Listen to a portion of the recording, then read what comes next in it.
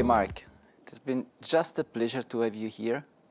I really enjoyed the last two years working with you on this journey, shaping what SaaS means for telcos. So, you know, my first question is, why do you think the time is now to go SaaS? Uh, well, first of all, thank you for having me, and likewise, I've enjoyed working with you and with the AWS team. Um, it's a it's a really compelling question. You know, why now? Uh, I think that we've been on a journey as an industry for some time.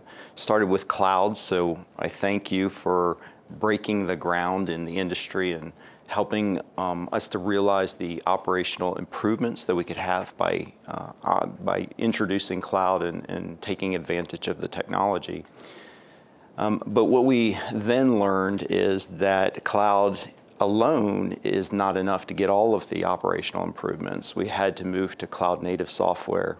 And so there was a, a big demand in the industry to, to move as quickly as we could to adopt cloud native software, even to produce network functions that were individually separable and, and uh, cloud native in nature. Um, but what that did was it, it increased the complexity. It didn't necessarily make things simpler. And so as a result, uh, a lot of the uh, our industry, the network operators, were asking the vendors that were building the software to provide as a service models. And so it's led us really to this path today where we need to take those as a service models and make them more efficient. And I think the best way to do that is through software as a service, where you bring in a lot more automation, more economies of scale, and of course that means more use of, of the cloud and technologies like AWS is providing.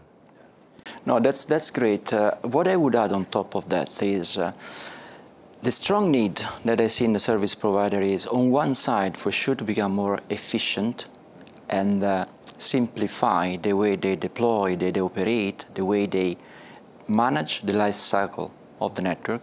But on the other side, they have a huge challenge in terms of uh, opening the network, making the network consumable by the developers, because that will be the engine for innovation for them, right? So we as AWS are super happy to work with uh, companies like you that on one side can help them address the simplification of the network, making automation pervasive, yeah?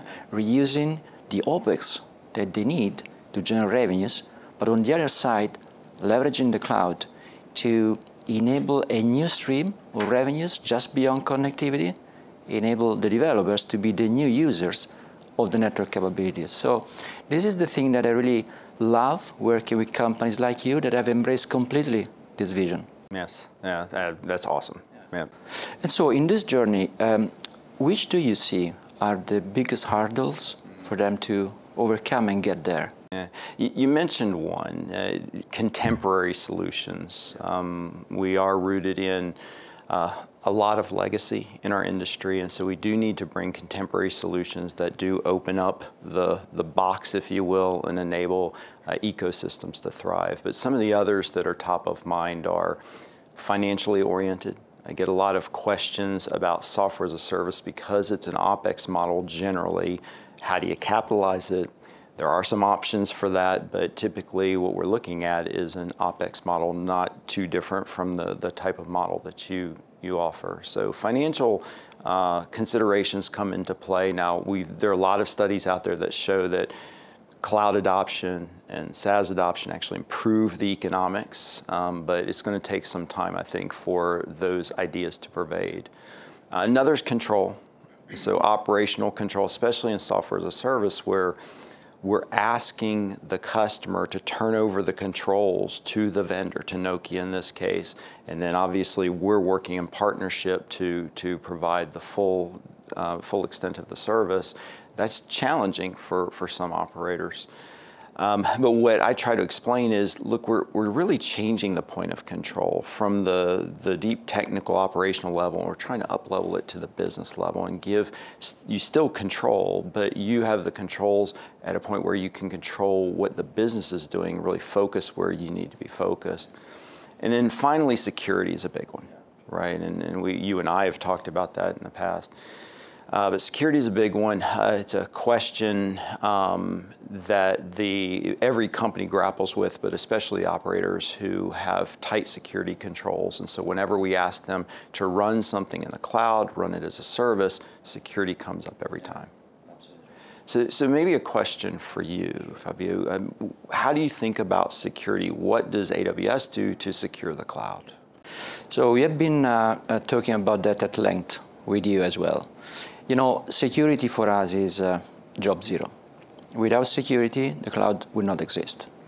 Essentially, today, hundreds of thousands of customers from the most demanding sectors government, military, global banking, healthcare run their workloads on AWS Cloud for a simple reason that this is the most secure cloud infrastructure today in the planet.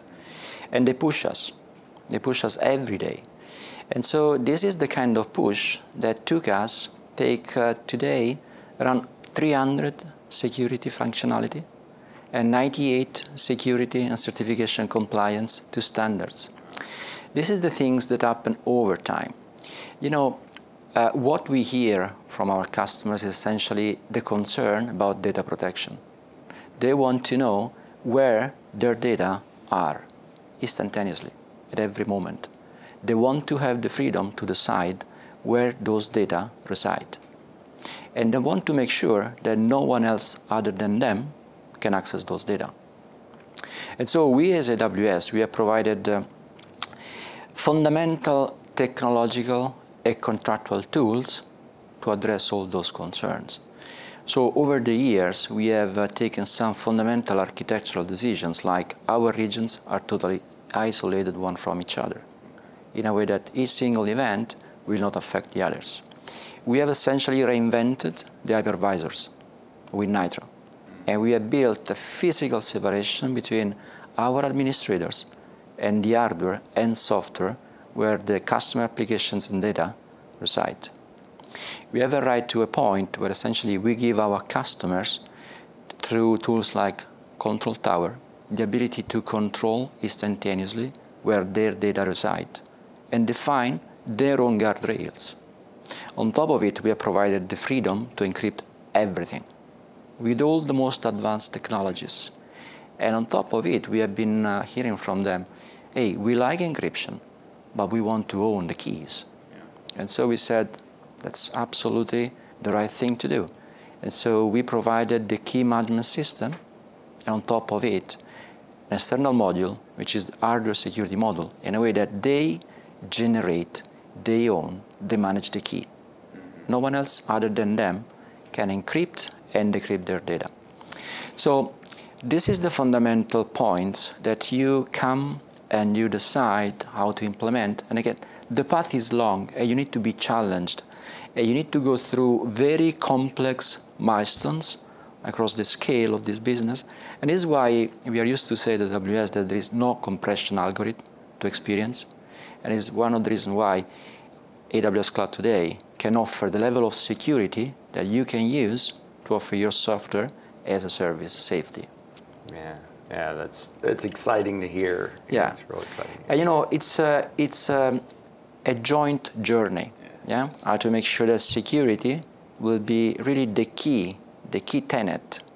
And so the point is, in your view, which is the additional layer of security that you add on top on the SaaS? Yeah, uh, thank you for asking that. I, um, I look, I very impressive um, the the security measures that AWS takes to secure the underlying infrastructure and the platform as a service. Obviously, I'm highly dependent on that, and um, in case people don't have a perspective when it comes to offering software as a service, as Nokia offers software as a service, we are also offering a single throat to choke. They look at me and they expect security to, to be built into every layer. They may not even necessarily know who the, the hyperscale platform is behind it. So I'm really dependent on you as a partner to, to help to solidify our offering. Um, we, like you, think about security in multiple layers, right? So we First of all, our applications are designed for security. They go through rigorous security checks. We do the standard um, dynamic and static analysis on our applications to make sure that they come out of the factory as secure applications. But then on top of that, we layer on additional controls. We have operational controls, we have event management, incident management protocols that are in place, well defined and established. We have next generation uh, network um, firewalls that, that add additional security.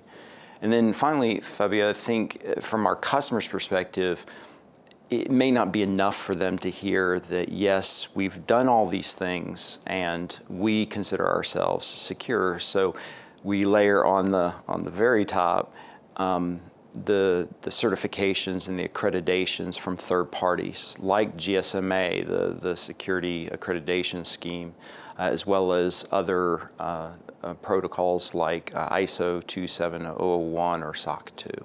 So from our perspective, we're taking every precaution we can to make sure that, as you described it, job zero gets done, that our SaaS application is secure. But it is fantastic to hear you explain what you're doing in the cloud itself to make sure that the cloud is secure so that we can give our customers together, we can give them the confidence they need to be able to adopt this new paradigm. Yeah.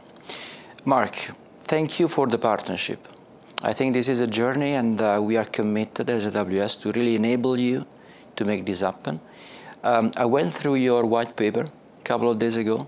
I found it uh, a piece of thought leadership, and I really invite everyone to go and uh, have a read. So insightful. Well, thank you for your contributions to that white paper. Yeah, it was great. It was great and great partnership and uh, trust in place. Thank you for that. Thank you for the Thank time. you, Mark. Yeah. Thanks a lot.